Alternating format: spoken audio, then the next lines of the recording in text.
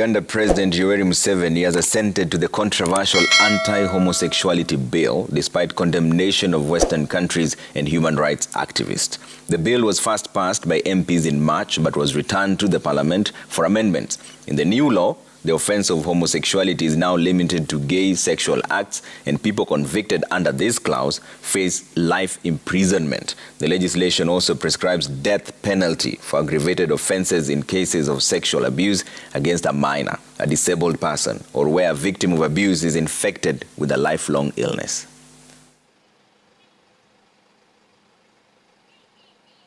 We have no choice but to stand our ground. Otherwise, if we don't stand our ground, this is what is going to happen.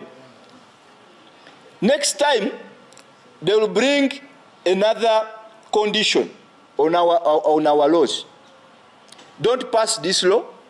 If you do so, then X, Y, and Z is likely to happen.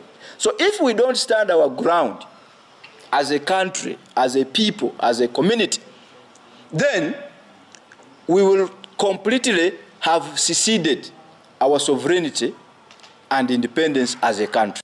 I'm in contact with LGBTIQ activists in Uganda as well as around the world that, as you've said, are outraged and, in the case of those in Uganda, are terrified that this law has now been enacted. First of all, to say it's quite um, sad and unfortunate um, that such a bill will be passed um, in this uh, dispensation which we are in, where there is vast information about LGBT people being a group of people who are harmless, who are not criminals, and who do not cause any harm to anybody.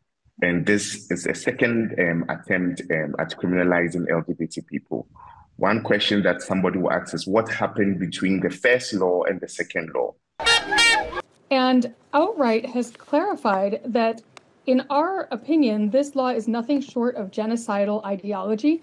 This law seeks the extermination of LGBTIQ people. Demonstrators marched in South Africa's Cape Town this Friday against Uganda's draconian anti gay law put in place last week. Colonization was enough. Apartheid was enough. We can't deal with this. Human beings need to be free from brainwashing strategies. We, they need to be free from unjust laws. So we are saying, as South Africans, stop the anti homosexual bill. Like what is happening right now in Uganda, whereby we have our people imprisoned in their own houses because of their sexuality. It angers me. It gets me so angry. It gets me so frustrated. Homosexuals are deviations from normal. This deviant, is he deviant by nature or by nurture? We, we need a medical opinion on that. The bill comes as conspiracy theories accusing shadowy international forces of promoting homosexuality gain traction on social media in Uganda. Uganda has passed a draconian law, one of the harshest anti-LGBTQ laws in the world. If you're gay in the African nation, you could face 20 years in prison or even worse, death penalty. There has been a huge outcry since the law was signed. The West calls it a violation of human rights, threatening to cut off billions of dollars of aid to Uganda. One of the harshest anti-LGBTQ laws in the world. A draconian measure that targets the country's queer community. Same-sex relations were already illegal in Uganda. But this new law goes much further. It includes capital punishment for serial offenders, as well as for those transmitting a terminal illness through gay sex. Not just that, there's even a 20 year sentence for promotion of homosexuality. New anti gay law by President Yoweri Museveni ushers in a dangerous time for Uganda's LGBTQ people. The Anti Homosexuality Act intensifies a long crackdown on sexual minorities. Ugandan legislators who passed the law nearly unanimously say it's their prerogative. If we don't stand our ground as a country, as a people, as a community, then we will completely have seceded our sovereignty The country's new bill is one of the world's most punitive. It includes the death penalty for, quote, aggravated homosexuality. Nation's human rights chief Volker Turk said on Tuesday that Uganda's anti LGBTQ law appears to violate the constitution. It's devastating that this law was signed by the president, and I hope that the judiciary is going to look into it and I can tell you, if they look at human rights law, their own constitution, they will find it in violation of it. This homosexual bill is not uh, what we need right now. Uh, the kind of rights, we cannot be talking about such rights when um, fundamental rights, like human rights, rights to access to, to, to, to education, access to, um, uh, access to uh, health services, um, uh, uh, we have not fought for such rights and we go for, for that other right. Appreciate the House. The signing is finished, nobody will move us. Uganda's president has defended signing one of the world's harshest anti LGBTQ laws.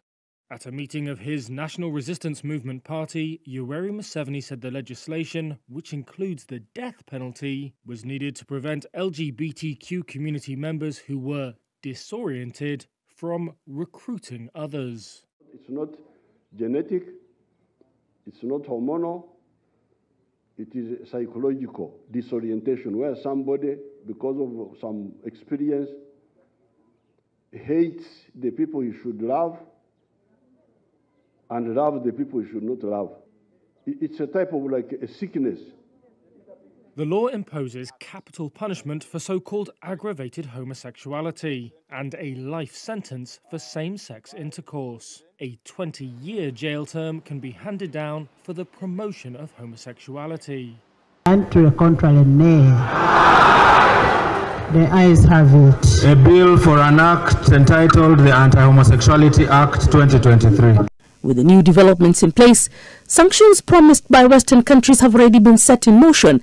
The Speaker of the Ugandan Parliament, Anita Annette Among, has had a visa to the United States revoked, according to communication reported in Ugandan Parliament Monday. I speak now, the Speaker's visas have been cancelled for America the other day, and, and this, is, this is also confirmed. The United Nations Human Rights Office, whose Commissioner Volker Turk in March described the bill as among the worst of its kind in the world, condemned its passage into law. Africans here, we, we, we know a few people who are, who are rumored to be homosexuals. Even, even in history, we had some few being rumored. But you cannot stand up here and say, I'm a homosexual. Uh, and, uh, the president made the remarks while opening the Global Peace Leadership Conference in Munyonyo, Kampala. He says several forces have tried to push him to publicly promote homosexuality in the guise of promoting human rights. So, whenever we talk to our partners from other parts of the world, say, please, that's a private matter, you, you leave it. No, they, but they want to impose it on you. that I should stand up and say, oh yeah, homosexuals, oh yeah.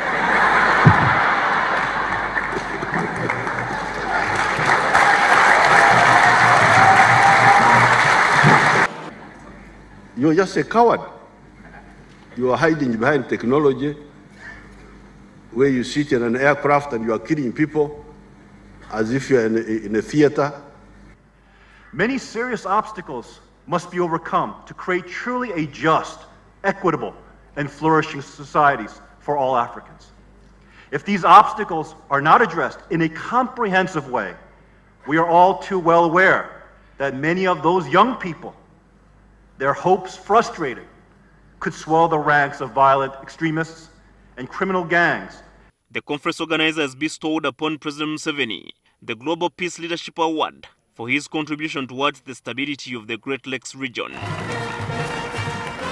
Uganda was the first country to deploy peacekeepers in the war-torn Somalia in March 2007, and to date the country plays a lead role in the African Union peacekeeping mission in Somalia, AMISOM. Habad Ziwa, NTV. Ugandan Human Rights Commission, which is mandated by the Constitution. So having others uh, which are not part of our constitutional system is first of all unnecessary, but also diversionary. Because some of the people may not know the difference. Instead of going to report to where action can be taken, they go to the UN. What can UN do in Uganda? They, have, they, they don't have the powers of, of enforcement. The ones who have the powers of enforcement are the Uganda National Human Rights Commission. So why divert, divert uh, attention of complainants with multiple points? Because for the ordinary people, they may not know the difference. The mistake of uh, Western countries, they are the ones who are provoking because they, they, they, they, are really, the English word is insufferable. You can't put up with their nonsense because nobody concentrates so much on homosexuals. Nobody is hunting them. But because they come and want to force us to say homosexuality, oh yeah,